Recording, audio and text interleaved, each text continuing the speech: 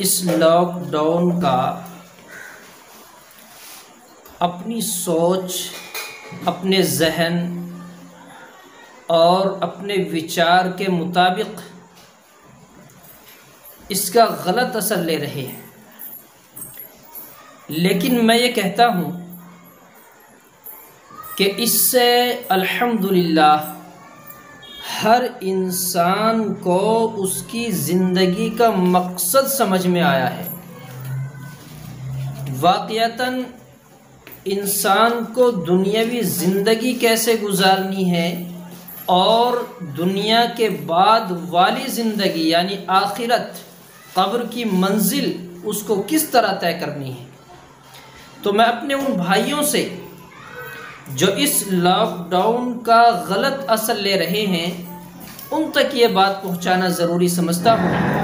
और इस बात को बड़ी तवज्जो और ध्यान से समझें कि अल्हम्दुलिल्लाह, इस तकरीबन दो महीने के अरसे ने हमें क्या सबक दिया है?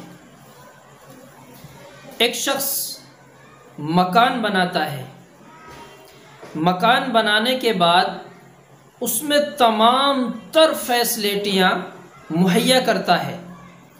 यानी जितनी उसकी इस्तात गुंजाइश, हैसियत है, अपनी हैसियत के मुताबिक वो तमाम तर सहूलतें उस मकान में मुहैया करता है।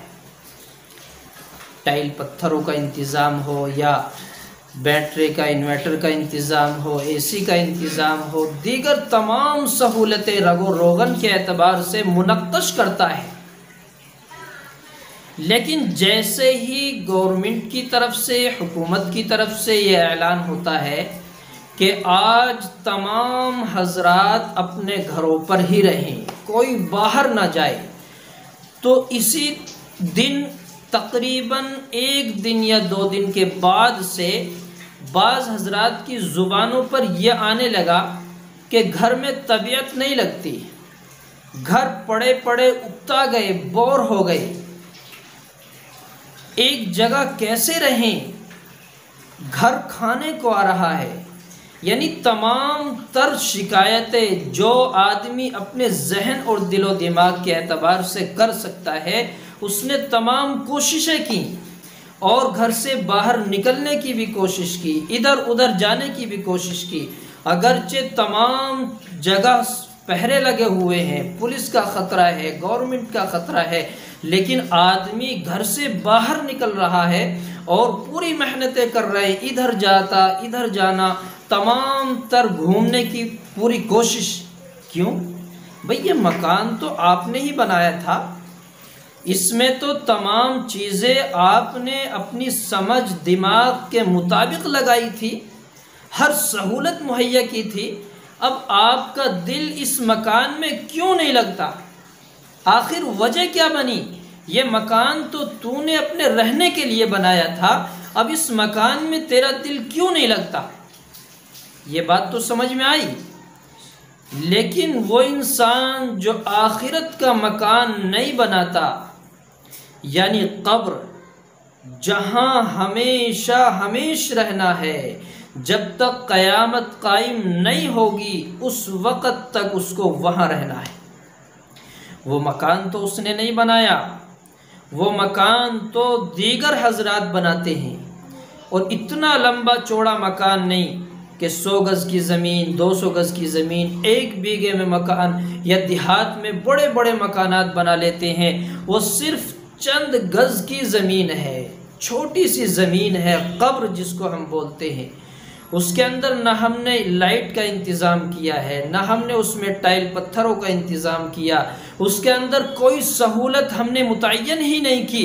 अब अल्लाह के वास्ते ये जहन और दिलो दिमाग पर इस बात को गौर करके सोचना है कि हम जिस मकान को अपने हाथों से बनाते हैं, उसमें हमारा दिल नहीं लगता। वो मकान जो गैरों ने हमारे लिए बनाया है, दूसरों ने हमारे लिए बनाया है, उसमें हमारा दिल कैसे लगेगा? खिड़की उसके अंदर नहीं है, रोशनदान उसके अंदर नहीं है, दरवाज़ा उस मकान के अंदर नहीं होगा। तो उस मकान में हमारा दिल कैसे लगेगा? ये बात सोचने की है, समझने की है मेरे भाई। हाँ उस मकान में भी दिल लगने के चंद शराइत हैं। उस मकान में भी दिल लग सकता है। वो मकान भी बेहतरीन बन सकता है। उस मकान का अंधेरा कुरान से ख़त्म होगा। उस मकान की गर्मी ज़िक्र से ख़त्म होगी।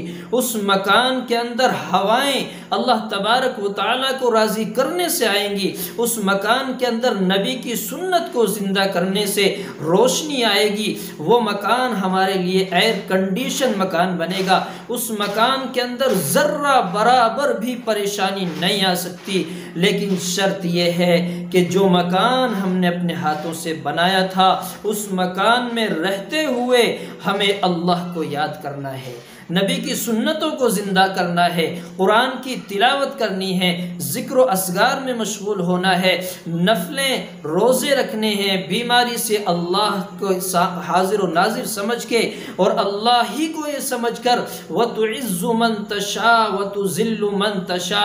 अल्लाह तबारक व ताली को इज़्ज़त और ज़िल्लत का मालिक समझ कर अल्लाह तबारक व ताली को मौत और ज़िंदगी का मालिक समझ कर मुश्किल कुशा, हाजत रवा अल्लाह तबारक तबारक को कुल समझ कर इन